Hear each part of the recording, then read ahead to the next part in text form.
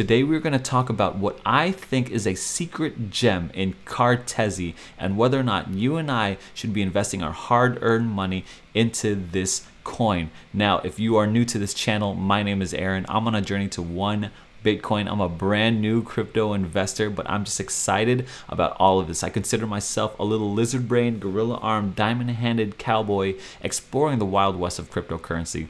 I feel like I sometimes I find some real gems, sometimes I find some rocks, and I think this one is a real gem. So if you want to follow along with me in that journey, go ahead and hit subscribe button down below. Hit the notification bell for any new and timely updates, and of course, give me a like button if you are feeling like a generous person on this video today. It really helps me grow the channel Now, let's talk about Cartesi, but before we could even talk about Cartesi, we have to talk about the problem that Cartesi seeks to solve, and it's solving it with the Ethereum blockchain.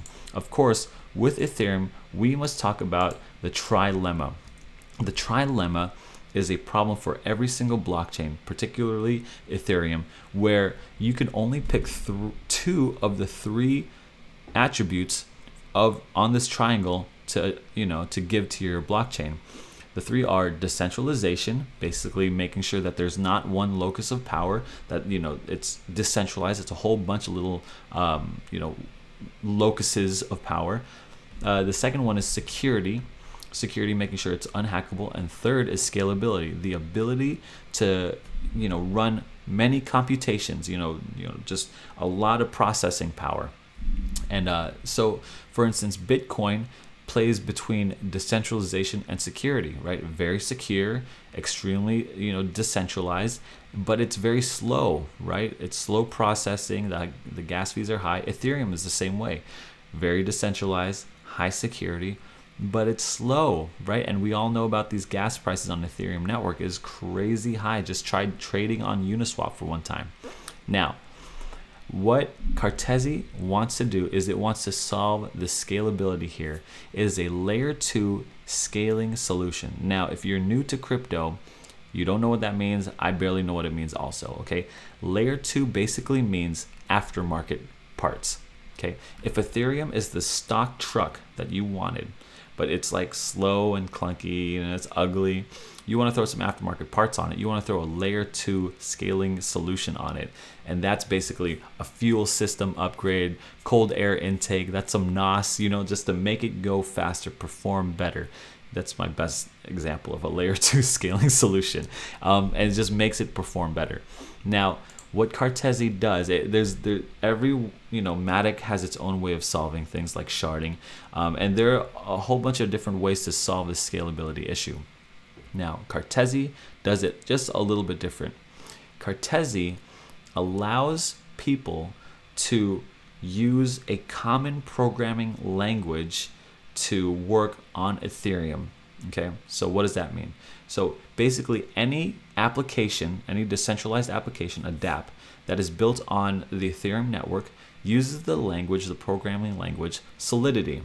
Let's back up a little bit more. Um, every app that you use either on your phone or your computer or whatever, or, your, or even every websites, they use a programming language. There's a ton of them too. MySQL, there's MongoDB, there's Linux, okay, so there's Python, there's Ruby. These are programming languages. You and I, us normal humans, we this is all alien talking gibberish. For programmers, that is common speak okay that is the that is the muggle tongue right? That is like the that is regular that's like everyone knows that kind of language okay? So everyone knows how to you know use that language in as programmers. But there is a higher level of programming language since the invention of ethereum and blockchain known as solidity. Now we've already said that every application on the ethereum network uses this language solidity.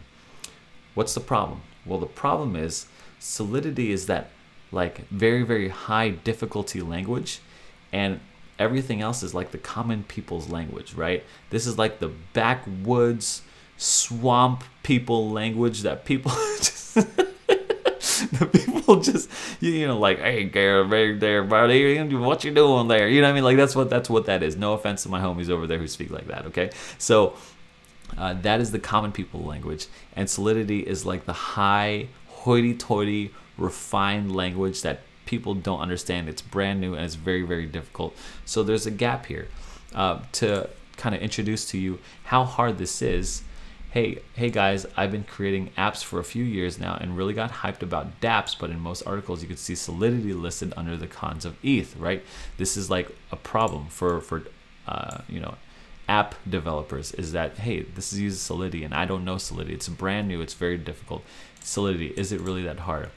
This person says anyone can really learn it in a few days, but the problem is that it's very, very hard to work with, right?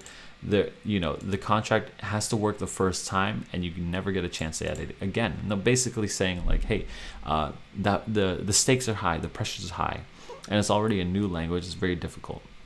So that that is what's happening. People don't really work with Solidity. It's that high refined thing, and people work with uh, Linux, right, or and Ruby or Python or any of these. There's Linux right now. So what Cartesi is going to do is it allows people to build on the Ethereum network these applications using the common tongue, not the refined one, not the hard, difficult one.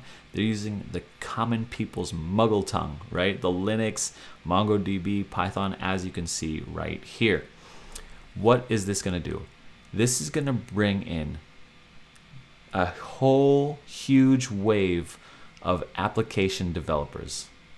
And what that's going to do is going to bring in the, that creativity, that energy, those different perspectives and viewpoints and it's going to it's going to like be able to build on the ethereum network with the security of blockchain but with the creativity and with the mass appeal of all these new influx of these app developers and that's what's going to happen. It's going to be great. It's basically saying like hey you know what? Everybody come on board. Um, this is this is like uh, now it's open up to the people right? Now it's open up to like every app developer in the world instead of just you know a relatively small few. Now you don't have just a few people who are developing apps but you have this mass amount of people and think of the creativity that they can bring in together. There. Now they use a uh, uh, you know they use something called descartes. Uh, and and this is just a protocol or, or, a way of saying like hey you know what? I'm trying to keep it simple right? Uh, there are three um, there are three uh, what's this called? Applications to this thing. First it's the scaling computation right? It solves that trilemma that of scalability basically what that word means is basically you know how you open up your computer and you run multiple applications on it? Like you run a video game on it like you run a movie you're playing a movie at the same time you're playing music and you're surfing the web and you're playing youtube all at the same time. That is all taking up your, your computer's power so it scales up your this computer's power. Scaling computation that's what that means. So that's the first thing especially when it you know it has all these different languages to use. What it does is when a when something comes to the ethereum network like a transaction and you got to figure this out uh, you know, you have to use computation, your computer power, computation power on it. It then takes it off of the Ethereum network and, you know, has it off chain and figures it all out there. And then brings it all back on chain. Now, why is this important? Well, because have you ever tried to solve a lot of problems at one time? Well, uh, what this is doing is it takes half of those problems and takes it off chain so that you could you know you're freed up to work on more problems or whatever it is you know what i mean so it just free it frees up congestion on the ethereum blockchain by removing them off the chain okay that's it the second thing is that when it removes those transactions those those computations off chain you don't have to put it back on it's private over here Okay, so you could choose to share, share with the chain, but you, you, you could choose not to. And so there's a level of privacy there. And three, of course, it just brings in this whole wave of people um, who, who have this creativity, but don't really want to learn Solidity and can't learn Solidity or for whatever reason. It's, it's just very difficult. So they could use the, the muggle tongue, right? Instead of the, uh, you know, the, that serpent tongue or whatever, you know?